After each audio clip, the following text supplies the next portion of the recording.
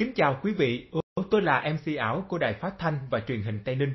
Mời quý vị cùng lắng nghe bản tin trợ lý ảo điểm báo 11 giờ hôm nay, ngày 2 tháng 12 năm 2021. Những thông tin tổng hợp được đăng tải trên trang báo mới.com và trang nhân dân.vn.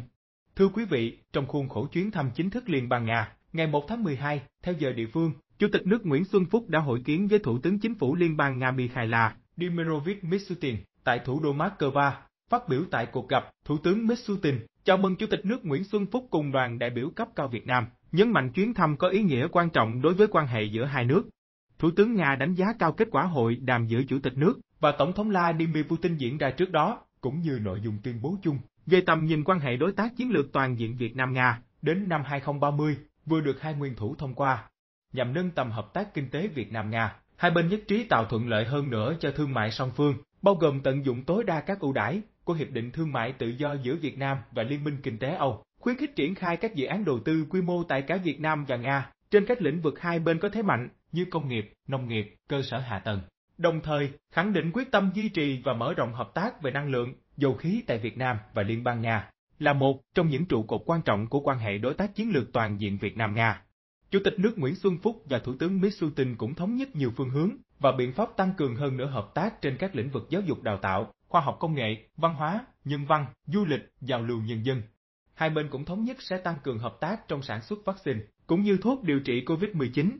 Thủ tướng Nga Mishutin khẳng định chính phủ Liên bang Nga rất coi trọng và mong muốn tăng cường mở rộng hợp tác với Việt Nam và sẽ phối hợp chặt chẽ với chính phủ Việt Nam, nhất là trong khuôn khổ Ủy ban Liên Chính phủ Việt Nam-Nga về hợp tác kinh tế thương mại và khoa học kỹ thuật, nhằm triển khai hiệu quả các thỏa thuận đạt được giữa Chủ tịch nước Nguyễn Xuân Phúc và Tổng thống Nga Putin.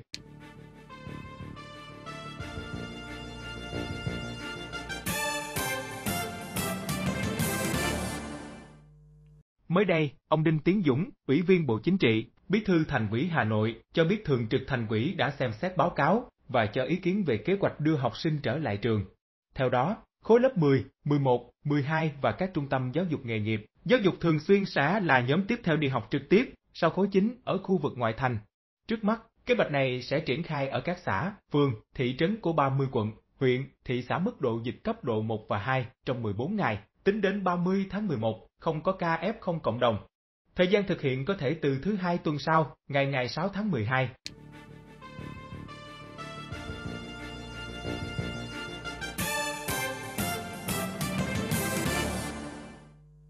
Thưa quý vị,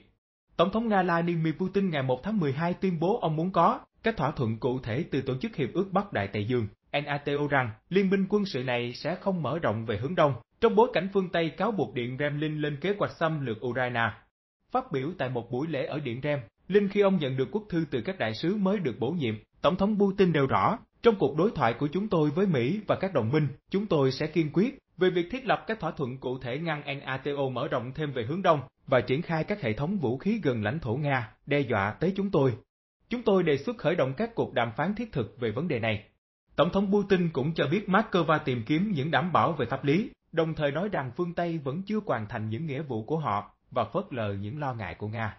Theo ông Putin, Nga đang phản ứng với cái mà ông gọi là mối đe dọa ngày gia tăng tại biên giới phía Tây nước này. Ông khẳng định cơ sở hạ tầng quân sự của NATO gần với biên giới Nga và điều này hơn cả nghiêm trọng đối với Moscow. Trong tình huống này, nhà lãnh đạo Nga cho hay chúng tôi sẽ đưa ra các biện pháp quân sự kỹ thuật tương xứng.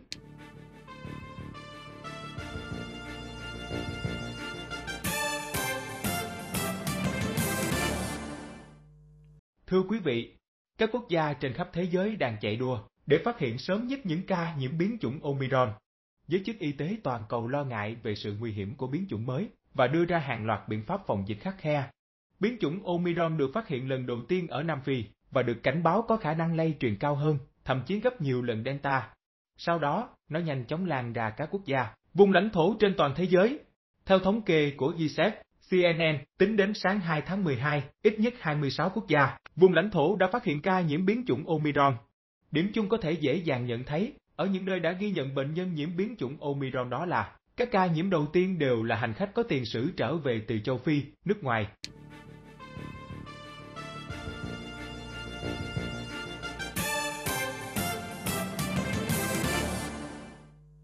Thưa quý vị, theo kế hoạch 2, 3 tháng 9, Ủy ban nhân dân thành phố sẽ tổ chức 4 đoàn kiểm tra, do các phó chủ tịch Ủy ban nhân dân thành phố làm trưởng đoàn nhằm kiểm tra, đôn đốc tiến độ giải ngân vốn đầu tư công trên địa bàn thành phố.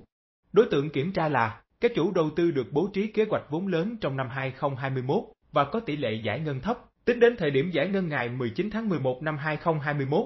Công tác kiểm tra nhằm nắm bắt tình hình thực tế, tháo gỡ các khó khăn, vướng mắc, đề xuất giải pháp đẩy nhanh tiến độ thực hiện, giải ngân vốn đầu tư công trên địa bàn thành phố Cần Thơ, phấn đấu đạt tỷ lệ trên 95% kế hoạch vốn đã bố trí.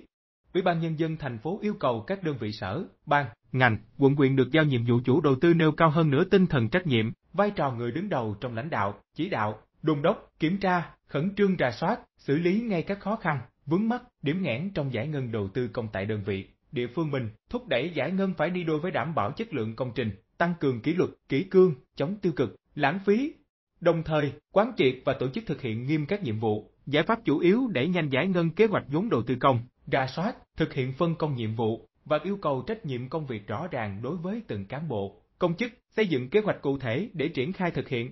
Bên cạnh đó, đề cao kỷ luật, kỷ cương, tăng cường kiểm tra, giám sát, xử lý nghiêm các chủ đầu tư, ban quản lý dự án, nhà thầu cố tình gây khó khăn, cản trở làm chậm tiến độ thực hiện, giải ngân vốn, kiểm điểm, xử lý kịp thời các cán bộ yếu kém, tiêu cực, không hoàn thành nhiệm vụ được giao.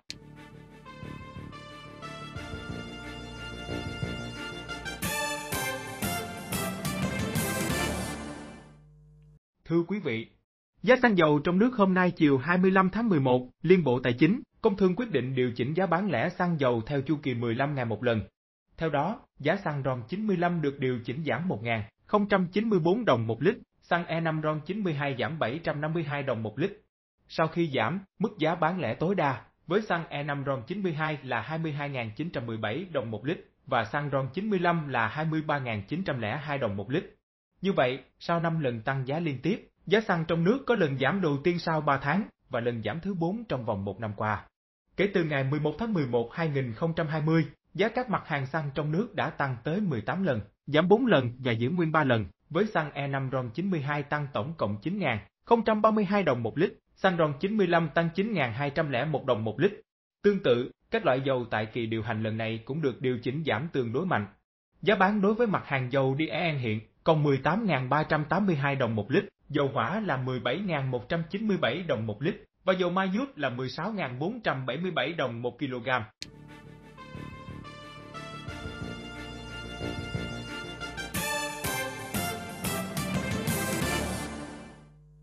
Thưa quý vị, lúc 8 giờ 30 phút, giá đô la Mỹ tại Vietcombank giữ nguyên ở chiều mua vào và tăng 30 đồng ở chiều bán ra so với hôm qua, niêm yết ở mức 22.560 đến 22.790 Việt Nam đồng 1 đô la Mỹ, mua vào bán ra.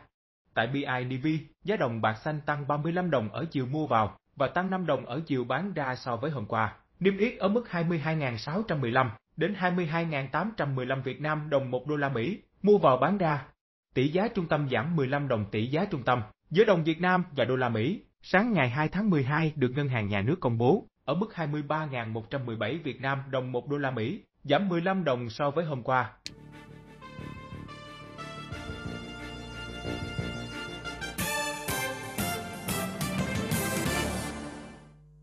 Thưa quý vị,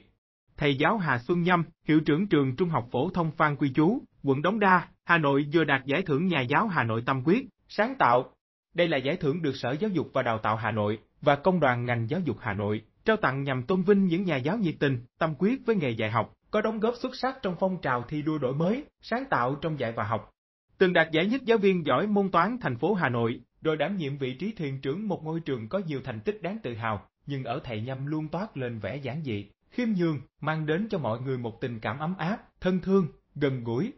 Sinh ra, lớn lên trong gia đình có truyền thống làm nghề giáo viên, từ nhỏ thầy Hà Xuân Nhâm đã hiểu được sự nhọc nhằn, vất vả của nghề dạy học, nhưng cũng nhận thức sâu sắc nguyên do vì sao bố mẹ yêu nghề đến vậy. Cuộc sống tuy nghèo vật chất, nhưng lúc nào cũng đầy ắp niềm vui và hạnh phúc khi từng lứa học trò không lớn, trưởng thành. Tốt nghiệp Đại học sư phạm toán năm 1993, thầy Nhâm nhận công tác giảng dạy tại trường Trung học phổ thông Sóc Sơn, Hà Nội, sau đó chuyển về giảng dạy tại trường Trung học phổ thông Lê Quý Đôn, quận Đống Đa. Từ 2008 đến nay, thầy Nhâm gắn bó với trường Trung học phổ thông Phan Quy Chú. Ngay từ khi bước chân vào nghề, thầy Nhâm đã xác định rõ mục đích của giáo dục mà những người làm thầy theo đuổi là không có học trò dốt, chỉ có thầy chưa giúp học trò trở nên khá, giỏi. Không có người thầy kém cỏi, chỉ có người giáo viên quên mình là thầy. Theo thầy Nhâm, bất cứ ai muốn xứng làm thầy thì đều phải không ngừng hoàn thiện bản thân. Vì thầy, cô giáo cần là tấm gương sáng để thế các thế hệ học trò noi theo. Với mong muốn đem những gì tốt nhất đến cho học trò và các đồng nghiệp, thầy giáo Nhâm đã không ngừng cố gắng học tập, rèn luyện để nâng cao trình độ, năng lực nghề nghiệp, bản lĩnh chính trị. Là thạc sĩ toán học, rồi cử nhân tin học, cử nhân quản lý giáo dục, cử nhân tiếng Anh, cao cấp lý luận chính trị, hành chính, thầy giáo Nhâm đã có nền tảng vững chắc tri thức, trở thành tấm gương sáng cho các đồng nghiệp và học trò trong việc rèn đức, luyện tài. Khi được luân chuyển và bổ nhiệm làm phó hiệu trưởng trường Trung học phổ thông Phan Quy Chú, vào năm 2008, thầy Nhâm cùng cô giáo hiệu trưởng Nguyễn Thị Nhiếp đã triển khai thí điểm mô hình trường trung học phổ thông công lập tự chủ, theo lộ trình nâng dần chất lượng giáo dục, tiếp cận phẩm chất năng lực người học và phát huy tối đa năng lực của mỗi cá nhân. Với định hướng đó, nhà trường từng bước khẳng định được uy tín, chất lượng giáo dục ngày càng được cha mẹ học sinh tin tưởng cho con em theo học. Chính quyền và ngành giáo dục thành phố công nhận là trường trung học phổ thông công lập chất lượng cao đầu tiên của thủ đô Hà Nội. Năm 2016, thầy giáo Nhâm được bổ nhiệm làm hiệu trưởng nhà trường. Thầy Nhâm cùng đội ngũ cán bộ, giáo viên đã xây dựng kế hoạch giáo dục nhà trường với nhiều đổi mới, sáng tạo nhằm phát huy tối đa năng lực cá nhân, đa dạng hóa các hoạt động giáo dục, tăng cường trải nghiệm thực tế, khai thác hiệu quả các công cụ tiên tiến, công nghệ thông tin. Bên cạnh đó, một số nội dung, môn học được đưa thêm vào để cung cấp cho học sinh các kỹ năng quan trọng, cần thiết như văn hóa đọc, trình độ tin học, ngoại ngữ đạt chuẩn quốc tế. Sau khi hoàn thành chương trình học tại trường, học sinh có thêm các chứng chỉ có giá trị quốc tế như ba chứng chỉ tin học Mod do Microsoft cấp, chứng chỉ tiếng Anh. Bằng sự đổi mới, sáng tạo, trường trung học phổ thông Phan Quy Chú đã trở thành hình mẫu. Trong việc xây dựng kế hoạch giáo dục nhà trường định hướng phát triển năng lực, phẩm chất người học của thành phố Hà Nội và đạt nhiều thành tích đáng tự hào. Có nhiều học sinh đạt giải học sinh giỏi cấp thành phố, quốc gia và quốc tế, gần 50% giáo viên đạt giáo viên giỏi thành phố, nhiều giáo viên đạt giải nhất, nhiều quốc gia trong các cuộc thi thiết kế bài giảng tích hợp liên môn, thiết kế bài giảng e-learn, Đinh và thi giáo viên sáng tạo toàn cầu trên nền tảng công nghệ, được tặng thưởng huân chương lao động hạng 3, cờ thi đua của chính phủ, cờ thi đua của thành phố Hà Nội và nhiều bằng khen các cấp. Hiệu trưởng Hà Xuân Nhâm là một trong 183 cán bộ quản lý, nhà giáo tiêu biểu toàn quốc năm 2018, 10 năm liên tục đạt danh hiệu chiến sĩ thi đua cấp cơ sở, với nhiều sáng kiến kinh nghiệm được áp dụng hiệu quả trong thực tiễn. Cô giáo Nguyễn Kim Anh, trường trung học phổ thông Phan Quy chú nhận xét về người thuyền trưởng của mình, nếu nói thầy, cô giáo là tấm gương của học sinh, thì nhà giáo làm quản lý thực thụ cần là gương của các thầy cô. Giáo viên trường Phan Quy Chú đã nghĩ về người đứng mũi chịu sào của trường mình với vai trò mở lối như chỉ quy chiến hạm, đồng hành như bạn, như thầy, thầy là một người bạn lớn, người bạn của giáo viên, của phụ huynh và cũng là người bạn lớn của học sinh. Dám nghĩ, dám làm, dám đổi mới, dám đương đầu với những khó khăn và sức y trong giáo dục để nâng cao chất lượng giáo dục, nhạy cảm và đồng cảm, để sống và làm việc vị tha với học trò, với cha mẹ học sinh và với đồng nghiệp. Đó là phẩm chất đáng quý của người thầy tâm quyết, sáng tạo Hà Xuân Nhâm.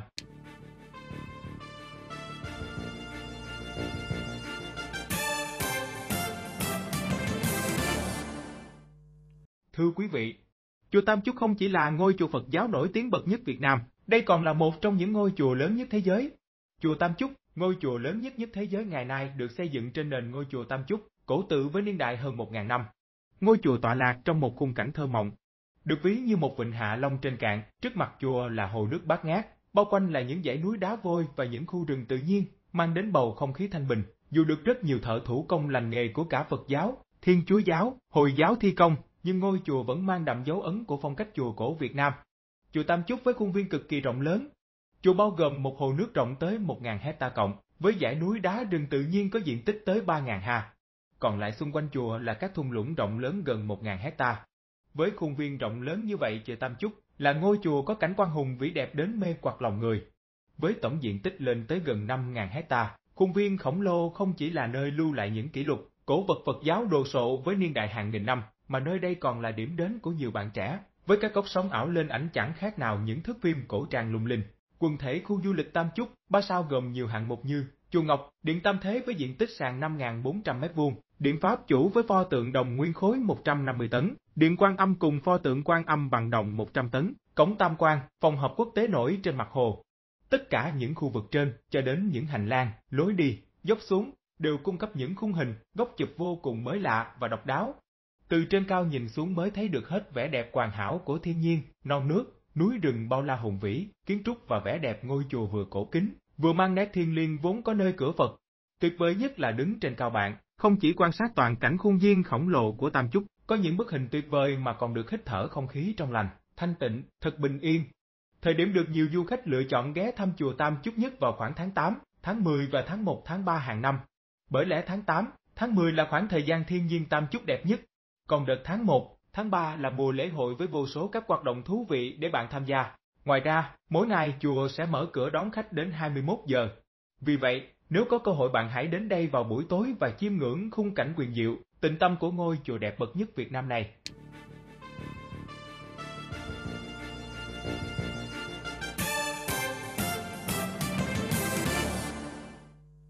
Thưa quý vị, một thị trấn Ukraine đã khiến nhiều người ấn tượng bởi những ngôi nhà và công trình kiến trúc nhiều màu sắc, trông giống như những khối Lego khổng lồ. Phần cuối chương trình, mời quý vị cùng khám phá vẻ đẹp của thị trấn này qua bài viết được đăng trên trang báo mới.com thưa quý vị. Theo New York Post, thị trấn tuyệt đẹp ở ngoại ô Kiev của Ukraine đã gây ấn tượng mạnh với bất kể ai đến đây khi những mảng tường được sơn màu sắc như những khối Lego khổng lồ. Những khu nhà nhìn từ trên xuống giống hệt như những khối Lego khổng lồ nhiều màu sắc. Thị trấn Comfort, ngoại ô Kiev của Ukraine được xây dựng từ những năm 1950 và 1960. Giờ đây, các tòa nhà được sơn đủ các màu sắc sặc sỡ như vàng tươi, xanh lá cây, cam, hồng thay thế cho những màu sắc đơn giản có phần ảm đạm trước đây. Nhiều người đã ví chúng như những tòa nhà Lego. Các nhà thiết kế Dimitro Vasiliev, Alex Anbovab và Olga Anfiorova đã mất tới 11 năm để hoàn thành dự án này. Với kinh phí eo hẹp, ông Vasiliev nói rằng, công cụ duy nhất mà chúng tôi phải sử dụng là màu sắc. Ý tưởng của việc sơn lại những tòa nhà này là để thu hút nhiều người đến sinh sống và biến khu vực này thành một nơi tươi đẹp, đáng sống. Bên trong khu ngoại ô đầy màu sắc là các quán cà phê, cửa hàng và văn phòng với khoảng 8.500 căn hộ. Màu sắc tươi sáng đã khiến rất nhiều người đổ về đây mua nhà. Theo thống kê hồi tháng 2 năm 2020, có hơn 200 căn nhà được bán mỗi tháng con số cao nhất cả nước. Hiện, khoảng hơn 20.000 người đang sinh sống ở thị trấn đầy màu sắc này. Không chỉ hút người dân, thị trấn cũng dần trở nên nổi tiếng và là một địa điểm check-in của du khách khi ghé thăm Kiev. Thực chất, đây không phải là thị trấn cầu vòng duy nhất trên thế giới sử dụng màu sắc để thu hút người dân đến sinh sống và du lịch. Một thị trấn nghỉ mát nhỏ nằm ngoài khơi bờ biển Aegean cũng nổi tiếng với các ngôi nhà nhiều màu sắc. Ngoài ra hòn đảo Ban Quang Hàn Quốc cũng sơn mọi thứ bằng màu tím để phù hợp với loài hoa Campanula, loài hoa đặc trưng của vùng đất này, hay một ngôi làng ở Malaga, Tây Ban Nha thu hút hàng trăm nghìn du khách mỗi năm, bởi sắc xanh được lấy cảm hứng từ bộ phim hoạt hình nổi tiếng làng xì trung. Quý vị thân mến, bản tin trợ lý ảo điểm báo 11 giờ trưa nay xin được tạm dừng tại đây. Cảm ơn quý vị đã quan tâm theo dõi. Hẹn gặp lại trong bản tin trợ lý ảo điểm báo lúc 18 giờ. Thân mến chào tạm biệt.